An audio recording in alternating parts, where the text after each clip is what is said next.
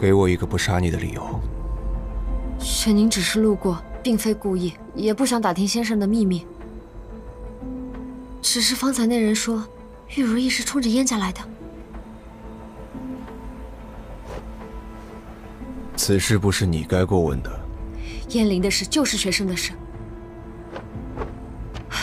先生若不告诉我，我就只好将今夜所见所闻全部告知旁人。宁儿，你是觉得我心太软，太好说话是吗？自你入宫之时，我就警告过你，不要惹我生气。你自恃聪慧，便觉得无你不能，管了一桩周莹之的事，就以为自己可以插手朝堂之争。你自以为很关心燕家，但你根本不知道，你的所作所为，会给燕灵带来多少灾祸。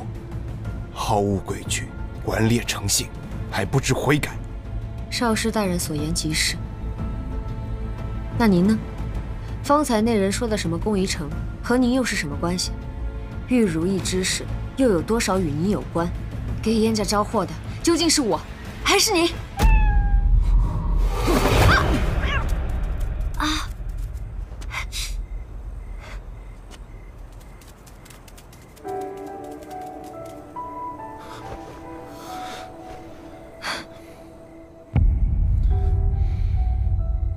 位居一朝少师竟然怕猫，当真是稀罕。想来这也是高高在上的少师大人又一桩秘密吧？我不过一只小小的蝼蚁，却屡次能让您害怕。原来，完人也有所畏；原来圣人也有所惧。完人确有所畏，圣人却有所惧。